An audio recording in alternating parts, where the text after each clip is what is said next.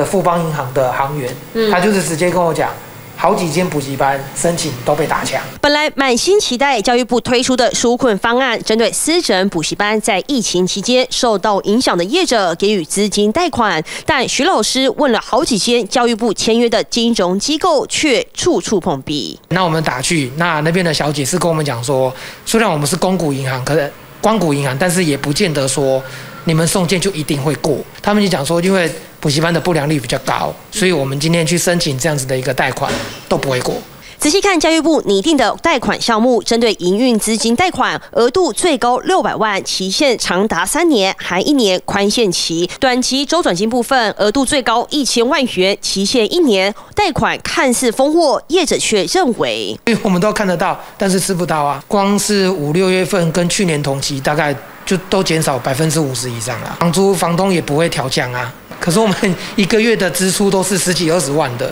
疫情重创补教业，小型补习班只剩远距教学授课学生，业者还得要给老师费用，但租金基本开销依旧要缴，只能苦撑下去。针对业者目前状况，教育部回应，有任何银行拒绝受理情形，可以向本部反映。另外，餐饮业者申请上也有困难，公司是没有营业额是零的，那我们分公司是有有营业额的，那我们用分公司的名义去申请。那还有说需要我们再补一些很多很多的资料，至于让我们在申请过程中我们会有期待感，但等到两三个礼拜以后再告诉我们说你没有申请成功，要重新再开始。业者申请分店纾困，却还要总店报表，更夸张的是总店业绩更差，遇到各种刁难，还得再次补件，贷款核实下来寥寥无几，根本是缓不济急。TVB 的新闻，交换我李玉涵台北采访报道，请订阅、按赞、分享 TVBS 新闻频道，并开启小铃铛，也请下载 TVBS 新闻 APP，随时掌握国内外大事。